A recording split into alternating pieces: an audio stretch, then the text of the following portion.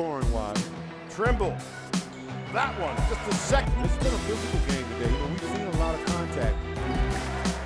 You see that three right there from Mello Trimble. Good run down there by Gist. Trimble takes a three. That's his fourth three of the night. Trimble takes the behind the back pass. This and the jam from James Gist. And that might be the play of the night right there. And even though the ball is not exactly in Trimble for three, that goes. I'll tell you what, he's the only guy hitting five. This turnover. Here comes Cowan.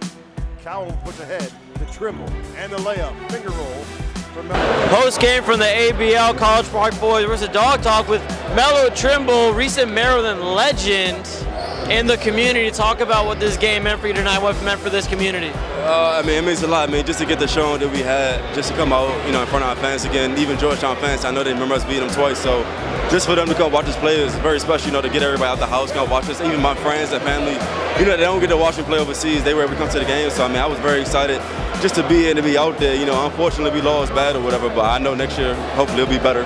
But I mean, other than that, it was a good experience, good turnout, and I'm just happy I was able to play. And a DMV native from Bishop O'Connell, talk to me what it's like to be back in here and seeing these fans and catching up with some people who you might have not seen for a few years. Man, it's crazy. I mean, it's surreal. You know, there's a lot of things going on in the world, and you know, you just gotta be blessed with the people that you know you meet in life. So I'm just happy I was able to see everybody that I grew up with playing basketball, even like the new players that are in Maryland. You know, my dad, cousins, all that. You know what I'm saying? I'm just happy to see everybody, and I'm just happy for the turnout.